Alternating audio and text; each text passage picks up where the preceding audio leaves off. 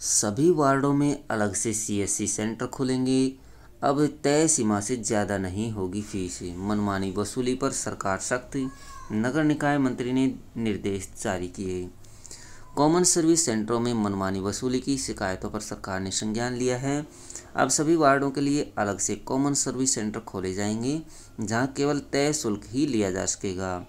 इस संबंध में नगर निकाय मंत्री ने पूरे प्रदेश के लिए दिशा निर्देश जारी कर दिए हैं। वहीं कैथल शहर में इकतीस वार्डों के लिए दस सीएससी यानी नागरिक सुविधा केंद्र खोले जाएँगे, जहाँ सरकार की ऑनलाइन योजनाओं के लिए लोगों के आवेदन व अन्य कार्य होंगे। अलग अलग जगहों पर कॉमन सर्विस सेंटर चलाने के लिए युवाओं को स्वीकृति दी है।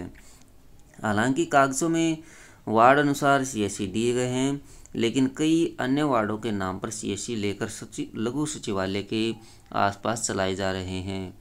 कई सीएससी संचालकों की ओर से कार्यों के लिए आमजन ने से मन, मनमानी वसूली की जा रही है, जबकि सरकार ने हर कार्य के लिए सीएससी संचालकों को एक निश्चित राशि लेने के लिए अधिकृत किया है। इसमें से उसे, उसका कमीशन मिलता है। मंत्री ने लिया संज्ञान। दो दिन पूर्व चंडीगढ़ में आयोजित बैठक में निकाय मंत्री डॉक्टर कमलनाथ गुप्ता ने इस पर संज्ञान लिया है। उन्होंने निर्देश जारी किए हैं कि नगर परिषद की ओर से हर वार्ड का अलग सीएससी सेंटर खोला जाए, जिसमें स्टाफ व उनके बैठने की व्यवस्था की जाए।